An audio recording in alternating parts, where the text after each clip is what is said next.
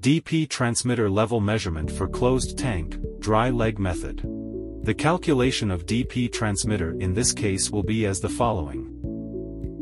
The lower range value equals pressure acting on HP leg minus pressure acting on LP leg. H2 multiplied by the specific gravity of the measured liquid minus 0, so the result will be 450 mm water column. Upper range value will be as the following. Pressure acting on HP leg minus pressure acting on LP leg equals H2 plus H1 multiply by specific gravity of the measured liquid minus 0. So the result will be 2250 mm water column. Delta P range equals upper range value minus lower range value equals 1800 mm water column. Now you may convert the lower and upper range values to inches H2O and set them into DP transmitter.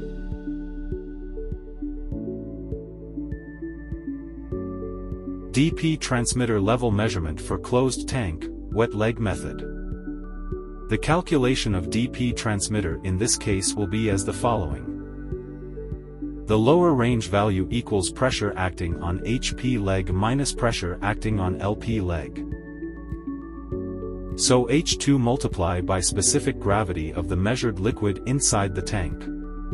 SG1 minus Y multiply by specific gravity of liquid inside wet leg of the low pressure side SG2. The result will be minus 2050 mm water column. Upper range value will be as the following. H2 plus H1, multiply by SG1 minus Y multiply by SG2. The result will be minus 250 mm water column. Delta P equals upper range value minus lower range value equals 1800 mm water column. At the moment all you need to do after conversion to inches H2O, is to set below values into the transmitter.